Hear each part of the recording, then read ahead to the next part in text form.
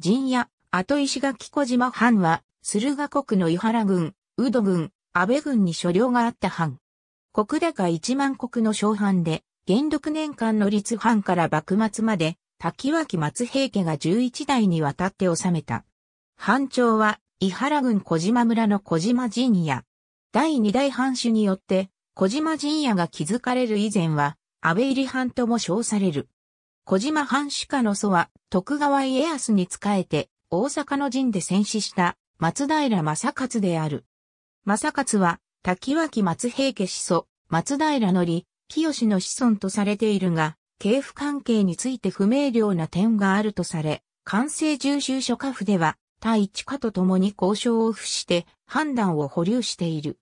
正勝には男子がなく、大命によって松平家信の次男、松平重信が正勝の娘の婿となり、家を継いだ。重信は駿府城代などを務め、駿河国井原、宇土、安倍三軍のうちで五千国の地業を得た。当時の領地は、安倍軍九下村、伊原軍二下村、宇土軍一下村と、駿府近郊の安倍軍が大部分であり、小島村を含む沖津川流域の土地は含まれなかった。重信の養子、松平信孝は、徳川綱吉に側近として使え、天那2年に戦国を数応された。元禄2年5月11日、松平信孝が若年寄りに昇進した際、地行も4000国を数応されて1万国となり、大名に取り立てられた。しかし、信孝は、藩主となった翌年の元禄3年に36歳で没した。母方で信孝の甥にあたる松平真治が末期養子となって家を継ぎ、二代藩主となった。元禄11年に、武蔵、上野にあった所領が駿河三軍内に移されてまとめられ、翌元禄12年に、領地主院場が与えられた。宝永元年に、小島陣屋を築き、同年初めて両国入りした。財政は初期より厳しかった。第四代藩主、松平正信の時代、年貢増長、不益強化とともに、支出の削減を中心とした反政改革が行われた。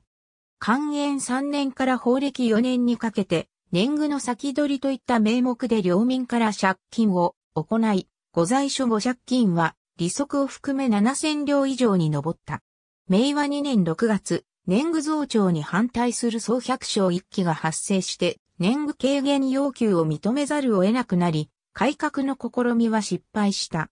第5代藩主、松平信義の時代に、年寄りの倉橋閣は、小井川春町の名で、奇拍子の執筆に当たったことで知られている。第7代藩主、松平信友は、君臣百姓和道一致という自家印書を発行し、領民に財政急防化からの年貢増長のやむなきを説明している。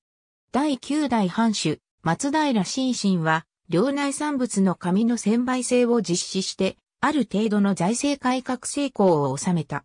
幕末は最後の藩主、松平信俊が慶応3年に新政府側に組みする。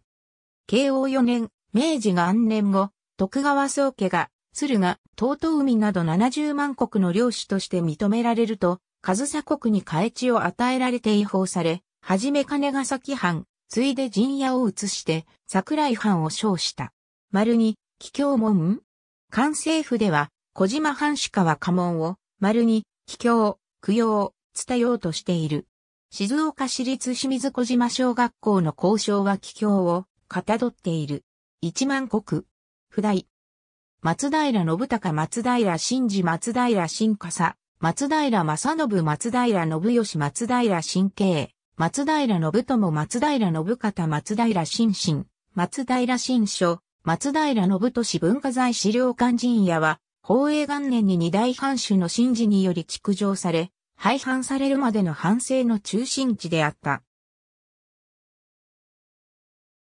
違法後に、駿府藩に引き渡され、駿府藩主小島役所、私塾訪問者教場、小学校校舎として利用されたが、昭和3年に建物は解体され、土地は民間に払い下げられた。一般の陣屋と異なり、表門がマス型の構えであり、城郭を思わせる石垣や建物以降等が良好に残されていることから、平成18年に国の史跡に指定される。解体時に御殿の書院は地元に払い下げられ、国道52号沿いの現在の場所に移築された。小島町公会堂として利用され、現在は文化財資料館になっている。上屋敷は七代の信孝が旗本だった頃の部下によれば、飯田城の上であったが、その後、元禄4年の松海番部官では、大名家、牛、元禄8年の松海番本庁部系あたり官では、時は、橋内、宝永2年版では、好きや橋内とあり、点々としていたことが確認できる。宝永7年版部官では、小石川となっており、以降は小石川で定着する。また、享保3年の須原や万部間では、小石川となっていた表記が、享保17年の部間では、小石川富坂と表記されるようになり、以降は小石川富坂に固定される。下屋敷は、元禄8年版には表記がないが、宝永2年版に高田馬場とあり、後に本書4つ目や目白台に移転している。中屋敷は当初は所有していなかったが、幕末に本所南割下水に一屋敷所有と記載されている。江戸で藩主や家臣が死去した際に埋葬される菩提寺は、文政年間の須原や万部館では2カ所記載され、浄土宗の西福寺と永神寺とされる。ただし、江戸時代中期の下作者、浮世絵師として、小井川春町の名で著名であり、滝脇松平家小島藩の年寄り翻訳を務めた、倉橋閣の親子が、内藤新宿の浄土宗上覚寺に埋葬されているので、少なくとも家臣については厳密に定められていたわけではなかったことが確認できる。所領は小島村を含む沖津川流域の山形、駿府周辺の府辺、安倍川川口部の浜方に大きく散分されていた。天保3年時点では30カ村で、幕末期まで地業地は変わらなかった。ありがとうございます。